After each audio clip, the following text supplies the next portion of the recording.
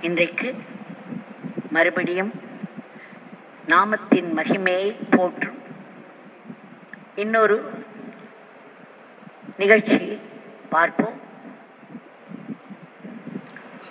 சில வருடங்களுக்கு முன்பு நடந்தது. இங்கு ஆசிரமத்திற்கு பல தேசங்களிலிருந்து குரூப் குரூப்பாக சாதக்ஸ் சாதனை செய்பவர்கள் சில சமயம் டூரிஸ்ட் விதவிதமாய் வருவர்.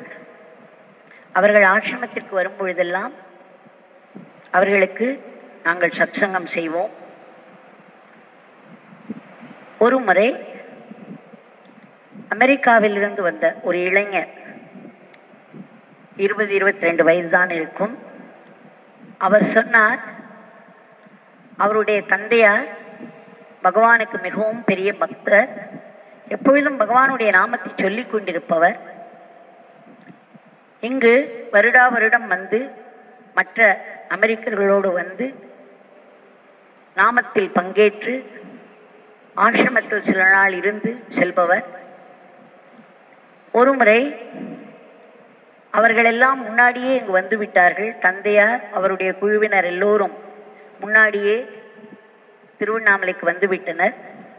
அதற்கு பிறகுதான் சில நாட்களுக்கு பிறகுதான் இந்த இளைஞர் இந்தியாவிற்கு வர முடிந்தது. அதுவும் முதல் முறை அவருக்கு. அதனால் அவருடைய தந்தையார் சொன்னார் நீ முதல் முறையாக இந்தியா வருகிறாய். அங்கு இங்கு பயணிக்க வேண்டி இருக்கும் அதுவும் ஏர்போர்ட்டில் இருந்தே ஒரு ஹோட்டல் எடுக்கணும் எடுக்க வேண்டும் என்றாலும் நீ ஆட்டோவிலோ இதிலோ செல்ல வேண்டியிருக்கும். சில சமயம் அவர்கள் ஏமாற்றி விடுவர். அதனால் நீ எப்பொழுதும் சுவாமியுடைய நாமத்தை சொல்லிக்கொண்டே இருக்க வேண்டும் என்று அறிவுறுத்தி கொண்டே இருந்தார். இந்த இளைஞருக்கு அவ்வளவு அபியாசம் போராது. அவர் அதை சற்று கேஷுவலாக எடுத்துக்கொண்டார் இந்தியாவுக்கு வந்த நேரம் ஏர்போர்ட்டிலிருந்து இறங்கினவுடன் நாமத்தை முற்றிலும் மறந்தார். வெளியே வந்தார். ஒரு ஆட்டோ அவரை ஏற்றிக்கொண்டு எங்கு செல்ல வேண்டும் என்று கேட்டார். அவர் சொன்னார் ஏதாவது ஒரு நல்ல ஹோட்டலுக்கு அதுவும் இரவு நேரம்தான். ஏதாவது ஒரு நல்ல ஹோட்டலுக்கு அழைத்து போங்கள் என்று சொன்னார். அந்த ஆட்டோக்காரர் கிட்டத்தட்ட இரண்டு மணி நேரம் எடுத்துக்கொண்டார். ஒரு ஒரு ஹோட்டல் முன்னாடியும் செல்வது இந்த ஹோட்டல் சரி இருக்காது உங்களுக்கு மிகவும் கஷ்டமாக இருக்கும் என்று சொல்வார். உடனே இன்னொரு ஹோட்டலுக்கு அழைத்து செல்வார். இப்படியாக அரை மணி நேரம் இருபது நிமிஷம் அரை மணி நேரம் என்று சில ஹோட்டல்களுக்கெல்லாம் அழைத்து சென்று கடைசியாக ஒன்றில் கொண்டு போய் விட்டார். அதற்குள் ஒன்றே முக்கால் மணி நேரம் ரெண்டு மணி நேரம் ஆகிவிட்டது. அவருக்கு ரொம்ப பிரமிப்பாக இருந்தது. இந்த ஆட்டோக்காரர் அவருக்கு தான் வெகு தூரம் வெகு பாடுபட்டு அவரை ஒரு நல்ல இடத்துக்கு கொண்டு வந்து சேர்த்ததாக ஒரு தோற்றத்தை கொடுத்தார். இந்த இளைஞருக்கு எந்தவித அனுபவம் இல்லாததனால் அவரை நம்பினார். ஒரு ஐம்பது ரூபாய்க்குள் முடிக்க வேண்டிய ஒரு விஷயத்தை கிட்டத்தட்ட முந்நூறு ரூபாய் ஆக்கிவிட்டார் அந்த ஆட்டோக்காரர். ஆனால் அது பற்றி இவருக்கு இந்த இளைஞருக்கு ஒன்றும் தெரியாது. அவர் சொன்னார் மறுபடியும் நான் அடுத்து இங்கிருந்து சென்னைக்கு செல்ல வேண்டும் டெல்லி ஏர்போர்ட்டிலிருந்து. அதனால் நாளைக்கு காலை மீண்டும் வாருங்கள் என்று அதே ஆட்டோக்காரிடம் சொல்லி அனுப்பினார். மிகவும் களைப்பாய் சோர்ந்து போய் தன்னுடைய ரூமை அடைந்தார் அந்த ஹோட்டலில். அப்பொழுதுதான் அவருக்கு தெரிந்தது கிட்டத்தட்ட இரண்டு மணி நேரம் இப்படி சுற்றி இருக்கிறோம். தந்தை கூறியது ஞாபகம் வந்தது. ஆட்டோக்காரர்கள் ஏமாற்றி விடுவார்கள். அதுவும் இரவு வேளை. நீ சுவாமியுடைய நாமத்தை சொல்லிக்கொண்டே இருந்தே ஆனால் சுவாமி உன்னை விரைவில் நல்லபடியாக கொண்டு சேர்த்து விடுவார். ஒரு நல்ல ஹோட்டலில் என்று அவர் கூறியதெல்லாம் அவர் மனதிற்கு வந்தது. அப்பொழுது தான் செய்த ஒரு பெரும் தவறு அவருக்கு மனதில் பட்டது. நாம் சுவாமியுடைய நாமத்தை சொல்லாமலேயே இருந்து விட்டோம். அதனால் இந்த மாதிரி இவர் இரண்டு மணி நேரம் ஆகியிருக்குமா? இல்லை இந்தியாவில் இந்த மாதிரி ஒரு நல்ல ஹோட்டல் கிடைப்பதற்கு இவ்வளவு தூரம் பயணிக்க வேண்டுமா? என்ற கேள்விகள் எல்லாம் அவர் மனத்தில் வர தந்தையுடைய அறிவுரையை நாம் கேட்காமல் விட்டோமே முதலில் அதை செய்வோம் என்று அவர் மனதிற்கு படவே அவருக்கு தூக்கம் வரவில்லை. நிறைய நேரம் உட்கார்ந்தபடி யோகிராம் சுரத்குமார் நாமத்தை சொல்லிக் கொண்டே இருந்தார். விடியற் காலை நேரம் கீழே இறங்கி வந்தார். இறங்கி வந்து அந்த கவுண்டரை நோக்கி போகும் பொழுது ஏனென்றால் அவர் ஆட்டோக்காரை வர சொல்லியிருக்கிறார். அடுத்து அவர் மீண்டும் ஏர்போர்ட்டுக்கு போய் சென்னைக்கு செல்ல வேண்டும். அந்த கவுண்டரை நோக்கி அவர் செல்லும் பொழுது அங்கே ஒரு ஆஸ்திரேலியன் லேடி நின்று கொண்டிருந்தாராம். அவரோடு இவர் பேச ஆரம்பிக்கும் பொழுது அவர் சொன்னார் இங்கிருந்து ஏர்போர்ட்டுக்கு தானே நீங்கள் போக வேண்டும். உங்கள் ஆட்டோக்காரர் சொல்லியிருக்கிறீர்கள் என்றால் அவர் வந்து விடுவார். இங்கிருந்து அரை மணி நேரம்தான். உடனே அவர் சொன்னார் அப்படியா நைட்டுக்கு இரண்டு மணி நேரம் கழித்தல்லவா இந்த ஹோட்டலுக்கு நான் வந்தேன்? என்றார். உடனே அந்த ஆஸ்திரேலியன் லேடி சிரித்தார் உங்களை யாரும் நன்றாக ஏமாற்றி விட்டிருக்கிறார்கள். அரை மணி நேரம்தான் ஐம்பது ரூபாய்க்கு மேல் ஆகாது. நீங்கள் ஜாக்கிரதையாக இருங்கள் என்று கூறினார். அதே சமயம் அந்த ஆட்டோக்காரர் அந்த ஹோட்டல் வாசலில் வந்து நின்றார். இவரை மீண்டும் ஏற்றிச் செல்வதற்கு. அப்பொழுது அந்த ஆஸ்திரேலியன் லேடி சொன்னார் சற்று இருங்கள் நானும் உங்களுடன் வருகிறேன் என்றார். அங்கே வாசலில் போய் அந்த ஆட்டோக்காரரிடம் நீ இவரை மிகவும் ஏமாற்றி இருக்கிறாய் முந்நூறு ரூபாய் வாங்கியிருக்கிறாய். இந்த தூரமோ ஐம்பது ரூபாய்க்கு மேல் செல்லாது. நீ இவரை ஏமாற்றி விட்டாய் நான் உன்னை போலீஸில் பிடித்துக் கொடுக்கப் போகிறேன் என்று மிரட்டினார். அந்த ஆட்டோக்காரர் பயந்து விட்டார். உண்மையை ஒத்துக்கொண்டார். அதன் பிறகு அவரை ஐம்பது ரூபாய்க்கு அந்த ஏர்போர்ட்டில் கொண்டு விட்டார். அப்பொழுதுதான் அந்த இளைஞர் உணர்ந்தார் நாம் முதல் முதலாக ஒரு தேசத்திற்கு வந்திருக்கிறோம். அந்த பாஷை கூட நமக்கு தெரியாது. இத்தனைக்கும் நம்முடைய தந்தை நமக்கு எச்சரிக்கை செய்திருக்கிறார். அப்படி இருந்து கூட நாம் சுவாமியுடைய நாமத்தை சொல்லாமல் இதை கோட்டை விட்டு விட்டோம். இப்பொழுது இரவு தான் இன்றைக்கு மார்னிங் இந்த ஆஸ்திரேலிய பெண்மணியை பார்க்க முடிந்தது. அவர் இவரை மிரட்டி அந்த பணத்தையும் வாங்க முடிந்தது. விரைவிலேயே ஏர்போர்ட்டுக்கும் செல்ல முடிந்தது என்ற உண்மைகளை அவர் உணர்ந்தார். அந்த இளைஞர் இங்கு வந்திருந்த போது சொன்னார் அன்றைக்கு நான் ஒரு பெரிய பாடத்தை படித்துக் கொண்டேன். சுவாமியுடைய நாமத்தை சொன்ன உடனேயே காலையில் விவரம் தெரிந்த ஒருவரை சந்தித்தேன். எல்லாம் சரியாக நடந்தது. ஆனால் நாமத்தை அலட்சியம் செய்தேன். அதன் பலனையும் நான் அனுபவித்து விட்டேன் என்று கூறினார். அதற்கு சில நாட்களுக்கு பிறகு இந்த ஸ்பெயின் தேசத்திலிருந்து ஒரு குழு குழுவினர் வந்திருந்தார்கள். ரொம்ப அதிசயமாக அவருடைய அனுபவத்தை அவர் சொன்னார். அவருக்கும் இவருக்கும் சம்பந்தமே இல்லை. இருவருக்கும் ஒருத்தர் ஒருவரை பற்றி ஒருவர் தெரியாது. அவர் அமெரிக்க சென்று விட்டார். இந்த ஸ்பானிஷ் பக்தர் சொன்னார் ஒரு புது விதமான அனுபவம் சுவாமியுடைய நாமத்தை பற்றி என்று கூறினார். அவர் சொன்னார் ஒரு ஒரு ஐடி நிறுவனத்தில் அவர் வேலை பார்த்தாராம். அவருக்கு அவருடைய நிறுவனத்திலிருந்து இந்தியாவுக்கு வர வேண்டிய ஒரு தேவை ஏற்பட்டது. அதுவும் ஒரு நெருக்கடியான சூழ்நிலையில் நிறைய பணத்தையும் எடுத்து வர வேண்டியிருந்தது. பாஷை தெரியாது புது தேசம். அவர் கம்பெனியிலிருந்து கிளம்பும் பொழுது அவரோடு வேலை பார்த்த ஒரு இந்தியர் இவருக்கு நண்பர் அவர் ஓடி வந்து யோகி ராம் சரத்குமாருடைய ஒரு படத்தை இவருடைய பையில் வைத்து மிகவும் ஜாக்கிரதையாக இதை வைத்துக் கொள்ளுங்கள். இந்த பெயரை சொல்லுங்கள். யோகிராம் சரத்குமார் யோகிராம் சரத்குமார் என்று அவரை சொல்ல வைத்து இதை சொல்லிக்கொண்டே செல்லுங்கள். நிறைய பணத்தை எடுத்துச் செல்கிறீர்கள். இரவு வேளையில் போய் அங்கு இறங்குவீர்கள். இவர் உங்களை நல்லபடியாக காப்பாற்றி அழைத்துச் செல்வார் என்று அவர் அறிவுறுத்தி விட்டார். இவரும் அதை பிடித்து கொண்டார். அந்த ஸ்பானிஷ் இளைஞர் சொன்னார் உரிய நேரத்தில் என்னுடைய நண்பர் வந்து நம் சுவாமியினுடைய படத்தை கொடுத்து அவருடைய நாமத்தையும் கொடுத்தார். அதனால் பயணத்தின் பொழுது அவருடைய நாமத்தை உச்சரித்தபடியே வந்தேன். டெல்லி ஏர்போர்ட்டில் இறங்கினேன். கையில் வேறு அவ்வளவு பணம். அதை ஒன்றும் செய்வதற்கில்லை. ஜாக்கிரதையாக செல்ல வேண்டும். நான் அதிக பணம் கொடுக்க வேண்டிய ஒரு ஹோட்டலில் போய் தங்குவது என்னால் இயலாத காரியம். அதனால் ஒரு நல்ல ஹோட்டல் நான் சுவாமியிடம் வேண்டிக் கொண்டே வந்தேன். ரொம்ப லெஸ் எக்ஸ்பென்சிவாக இருக்கக்கூடிய ஒரு சாதாரண ஹோட்டல் எனக்கு போரும் ஆனால் நல்லபடியாக டீசெண்டாக இருக்க வேண்டும். சுவாமி எனக்கு நீங்கள் அரேஞ்ச் பண்ணி தாருங்கள் என்று வேண்டிக்கொண்டே வந்தேன்.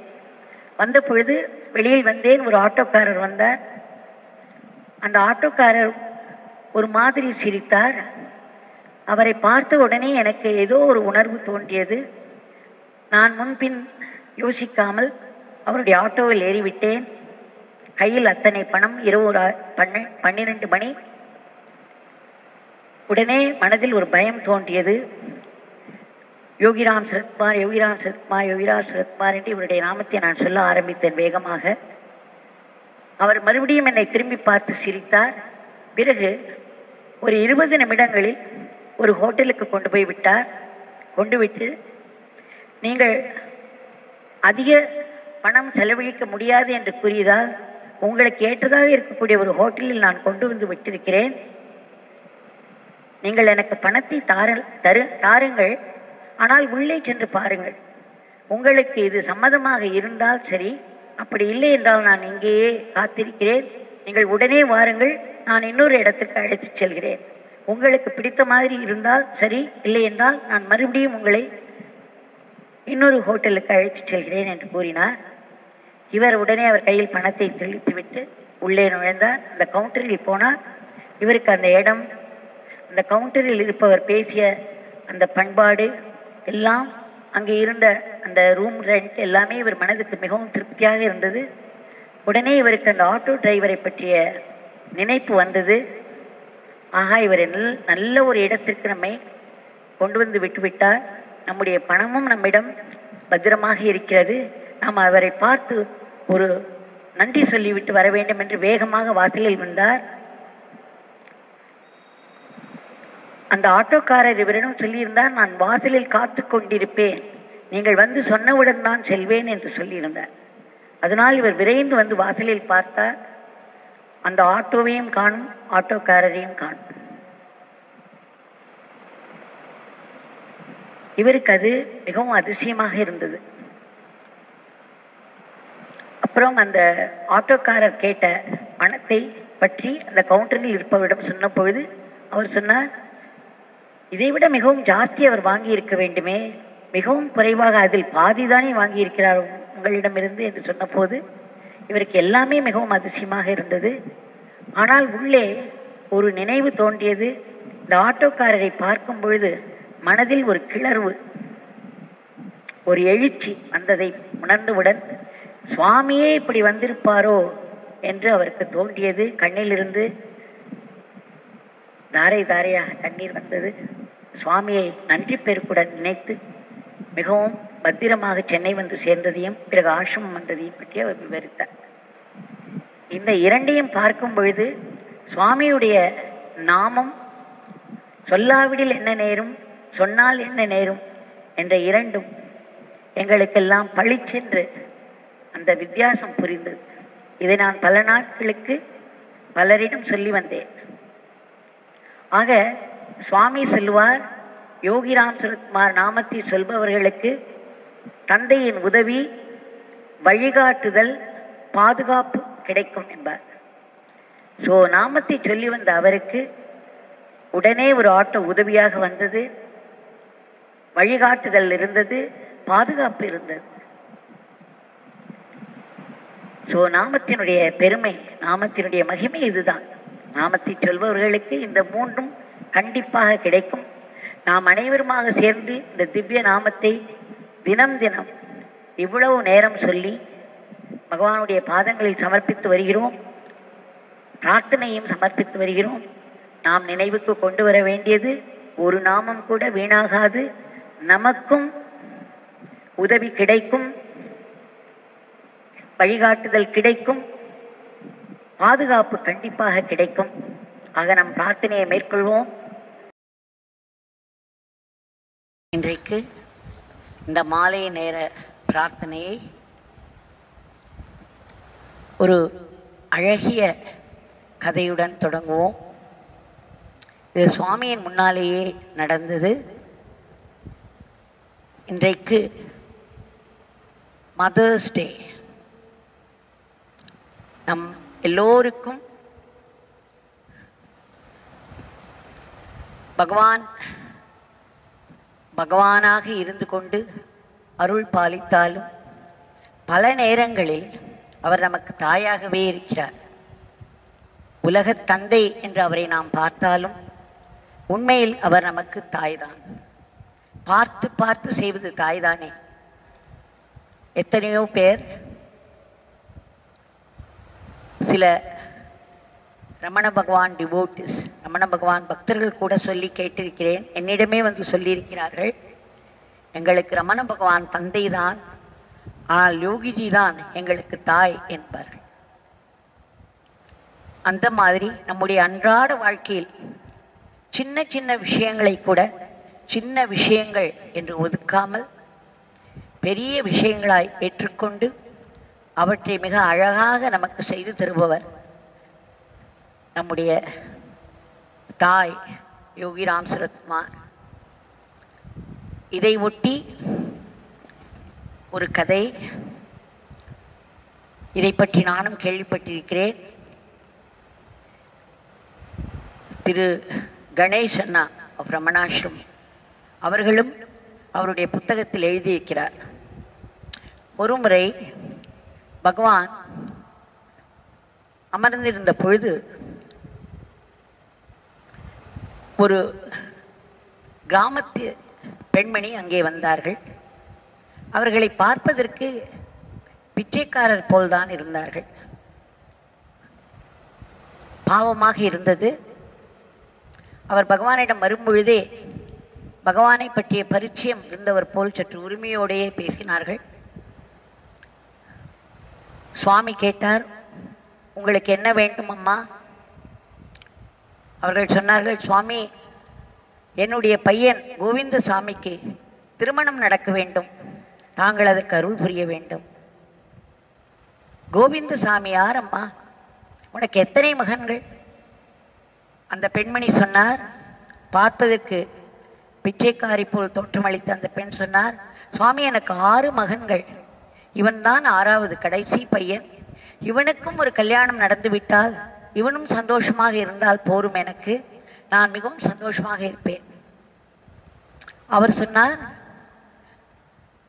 நீ எங்கே இருக்கிறாய் அம்மா? உன்னுடைய மகன்கள் எல்லாம் எங்கே இருக்கிறார்கள்?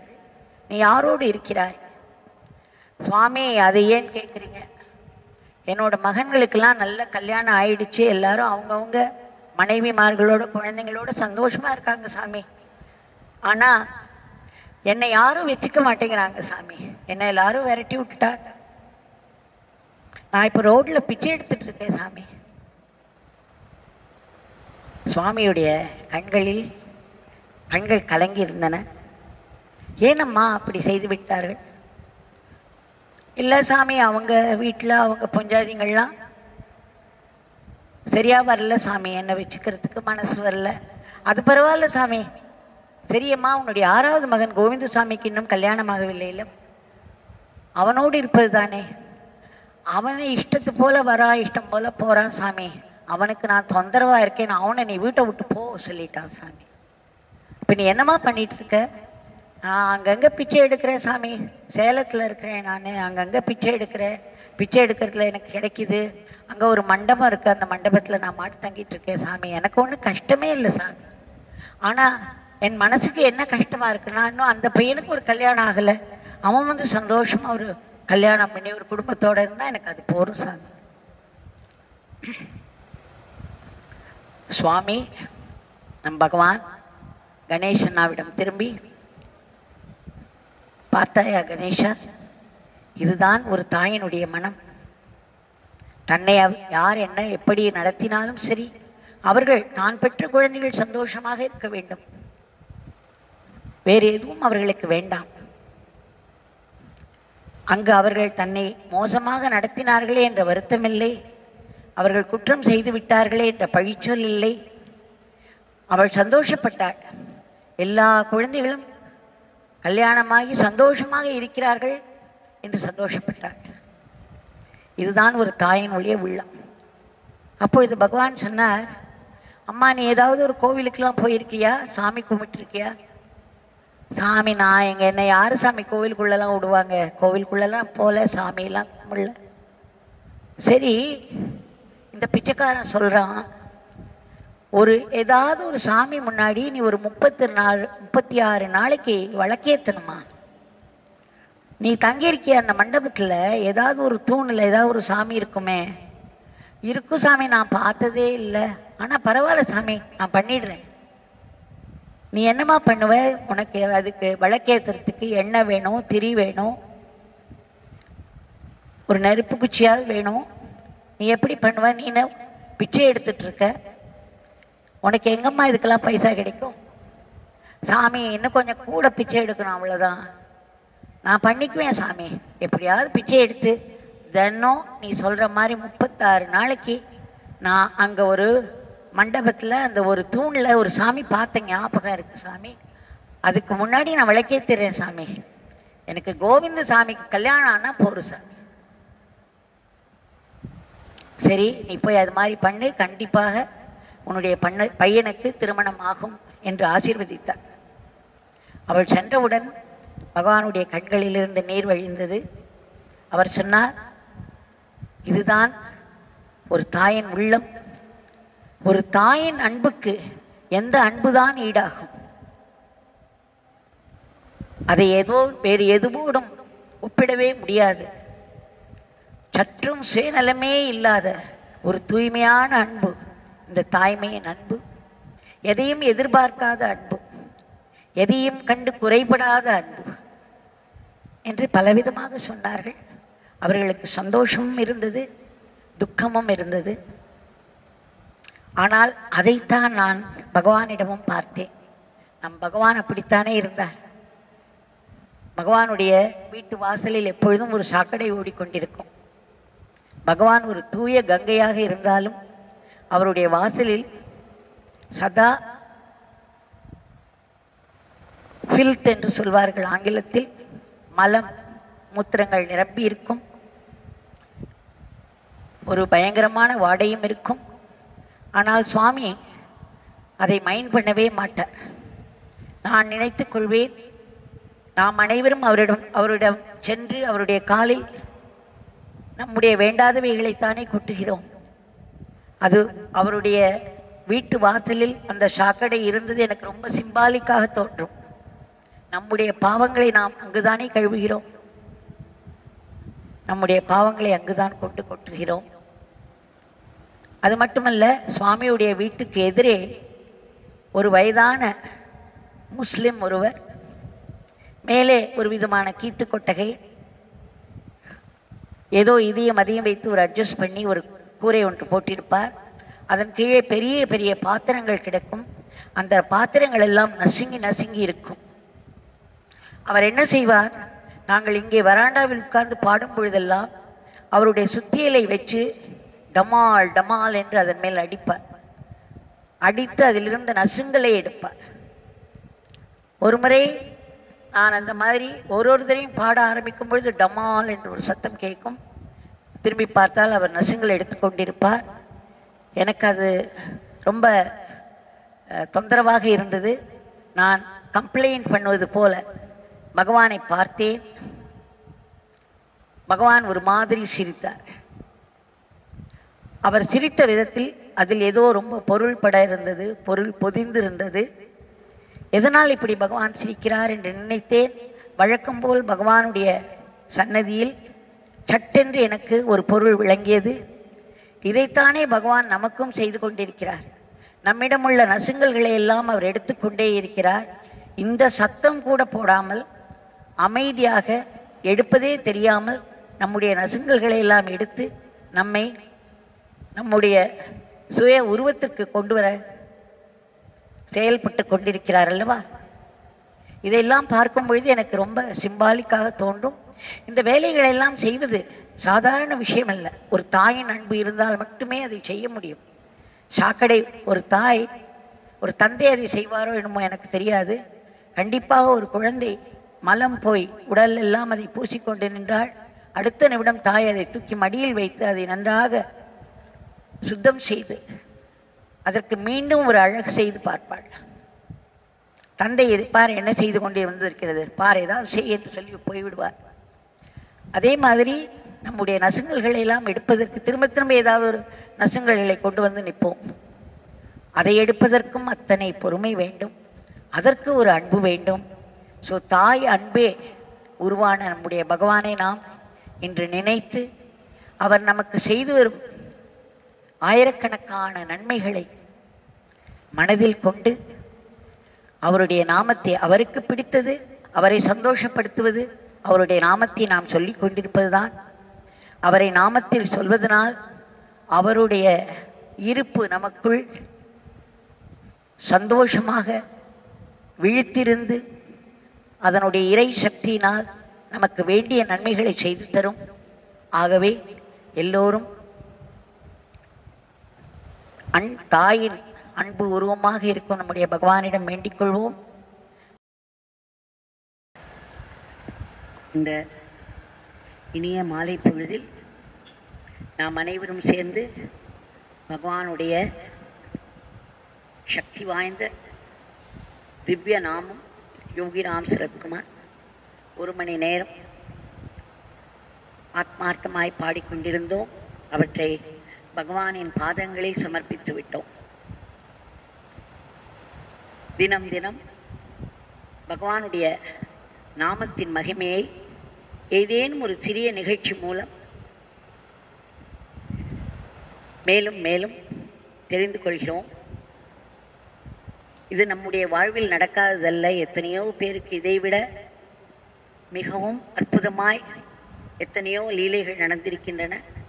இருந்தாலும் எல்லோரும் சேர்ந்து ஒரு சிறிய நிகழ்ச்சியை இந்த நேரத்தில் நினைவு கூர்ந்தோமானால் அது அவருடைய சித்தத்தினால் தான் இருக்கும் அவருடைய கிருப்பையினால் தான் இப்படி நேர்கிறது.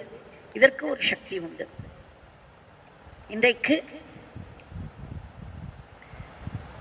எ- ரெண்டாயிரத்தி பதினஞ்சு பதினாறில் நடந்தது.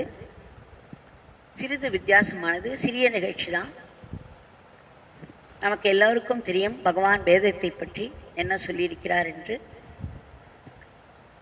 இந்த இந்திய மண் இந்தியா வேத மண்ணிலேயே ஊன்றி இருக்கிறது என்று சொல்லியிருக்கிறார். வேதம் இல்லாவிடில் இந்தியா இறந்ததை போன்றது என்றும் சொல்லியிருக்கிறார். எங்கெல்லாம் வேத பாராயணம் நடக்கிறதோ அங்கெல்லாம் சென்று அமர்ந்து அதை கேளுங்கள். அதனுடைய அர்த்தம் புரிய வேண்டும் என்பது இல்லை. அந்த வெறும் சப்தத்திலேயே அத்தனை சுபிக்ஷம் உண்டு. அத்தனை நன்மைகள் உலகத்திற்கு உண்டு. ஆகவே தயங்காமல் எல்லோரும் அங்கே போய் உட்கார்ந்து அதை கேளுங்கள் என்றெல்லாம் சொல்லியிருக்கிறார். இது எல்லோருக்கும் தெரிந்ததுதான். ஒரு முறை ரெண்டாயிரத்தி பதினஞ்சில் இதே மாதிரி அக்னி நட்சத்திரம் ஆரம்பித்து வெயில் தகித்து கொண்டிருந்தது. எல்லோரும் எல்லா உயிரினங்களும் அதில் வாடிக்கொண்டிருந்தோம் வதைத்து கொண்டிருந்தோம் வதைப்பட்டு கொண்டிருந்தோம். கடைசியாக ஒரு வழியாய் அந்த ம அக்னி நட்சத்திரம் முடியும் நாள். அந்த நாளில் இங்கே இரண்டு பிராமண இளைஞர்கள் வந்திருந்தார்கள் புதிதாய் வந்திருந்தார்கள். ஒருவர் பெயர் பரமேஸ்வரன் என்று சொன்னார் இன்னொருவர் பெயர் நாராயணன் என்று சொன்னார். இவர்கள் இருவரும் கோகர்ணத்திலிருந்து வந்திருந்தனர். கோகர்ணம் என்பது கர்நாடகாவில் கடலை ஒட்டிய ஒரு சிறிய நகரம் ஒரு கோவில் நகரம். மிக அழகிய நகரம் ஒரு பக்கம் மேற்கு தொடர்ச்சி மலையும் இன்னொரு பக்கம் கடலும். நடுவிலே இந்த சிவன் கோவில் அமைந்துள்ளது. மிக அழகிய இடம். அங்கே இருக்கக்கூடிய ஒரு கிராமத்தில் எப்பொழுதும் வேதம் நடந்து கொண்டே இருக்கும். அங்கே வேத பாடசாலை என்று கூட தனியாக வைப்பதில்லை. எல்லோரும் அவரவர்கள் வீட்டிலேயே இரண்டு மூன்று அல்லது அஞ்சு ஆறு சில இடங்களில் பத்து பதினைஞ்சு பேர் அவரவர்கள் வீட்டிலேயே வைத்து வேதங்கள் சொல்லிக் கொடுத்திருப்பார்கள் சொல்லிக் கொடுத்து கொண்டிருப்பார்கள். அந்த இடத்திலிருந்து வந்த இளைஞர்கள் என்று இவர்கள் சொன்னார்கள் எனக்கு மிகவும் ஆச்சரியமாக இருந்தது.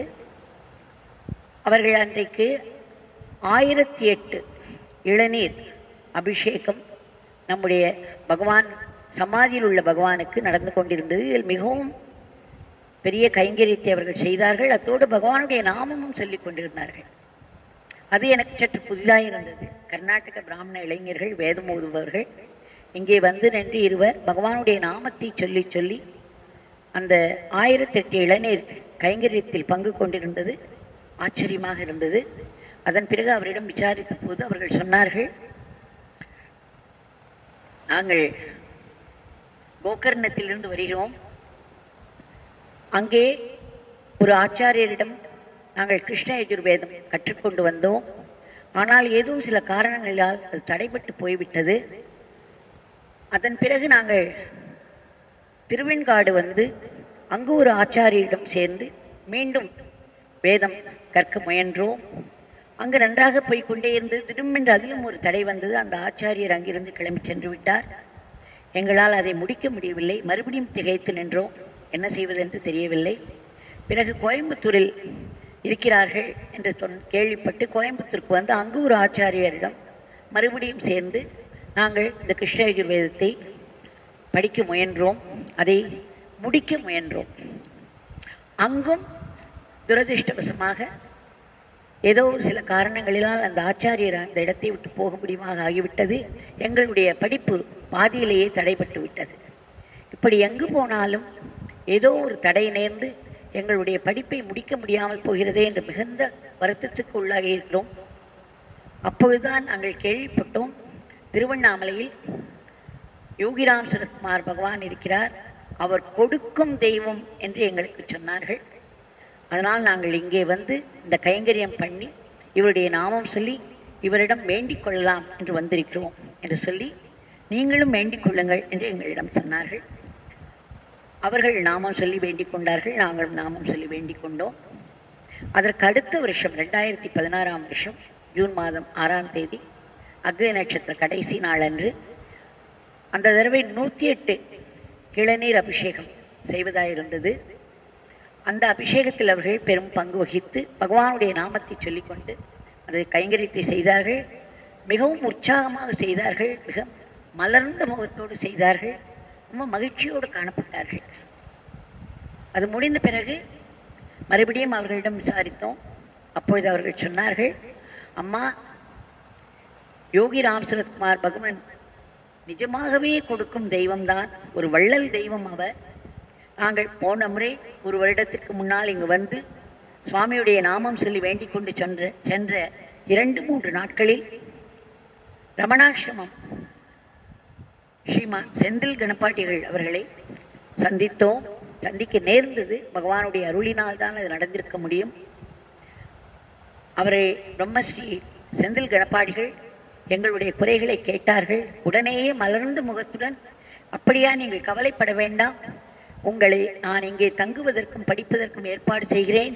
நீங்கள் இங்கே முடித்த பிறகே செல்லலாம் என்று கூறியது மட்டுமல்லாமல் அதற்கேற்ற ஏற்பாடுகளை எல்லாம் உடனே செய்து நாங்கள் இந்த ஒரு வருடம் நகு வசதியாக தங்கி படிப்பையும் நன்றாக முடித்து இரண்டு மூன்று நாள் முன்னாடி பரீட்சையும் கொடுத்து வெற்றிகரமாய் முடித்துள்ளோம் இது அத்தனையும் யோகிராம் சுரத்குமார் பகவானுடைய திவ்ய நாமத்தினாலும் அவருடைய அருளால் மட்டுமே நேர்ந்தது என்பது எங்களுக்கு உறுதியாக தெரிகிறது.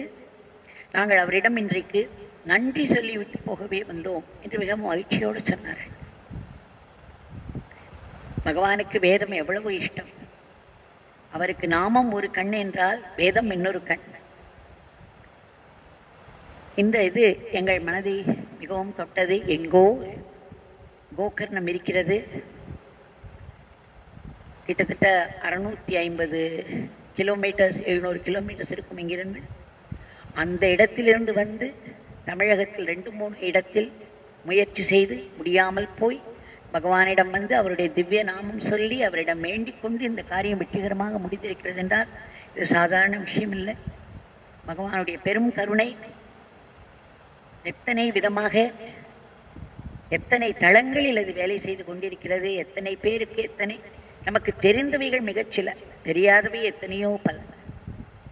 ஆக மறுபடியும் எந்த திவ்ய நாமம் எந்த வேண்டுதலும் இவர்களுக்கு செய்ய முடியாமல் சதா கர்மவினால் தடைபட்டு கொண்டே வந்ததோ அதையும் முடிக்கச் செய்து வெற்றிகரமாய் அவர்களை திரும்பச் செய்தது அந்த திவ்ய நாமத்தை தான் நாம் இத்தனை நேரம் சொல்லிக் கொண்டிருந்தோம். அதை தினம் தினம் இரண்டு வேளையும் சொல்லி அவருடைய பாதங்களில் சமர்ப்பித்து வேண்டிக் கொள்கிறோம். நாமும் மனம் தளராமல் மீண்டும் மீண்டும் ஆத்மார்த்தமாய் வேண்டிக் கொண்டே வருவோம். பகவானுக்கு தெரியும் எந்த நாமத்தில் அவருடைய பெரும் கருணை உடனடியாக நிவாரணத்தை தர வேண்டும் என்று ஏற்கனவே அந்த நாமங்கள் எல்லாம் அதன் அதன் வேலைகளை செய்து கொண்டுதான் இருக்கும். நாம் வேண்டிக் கொள்வோம். பகவான்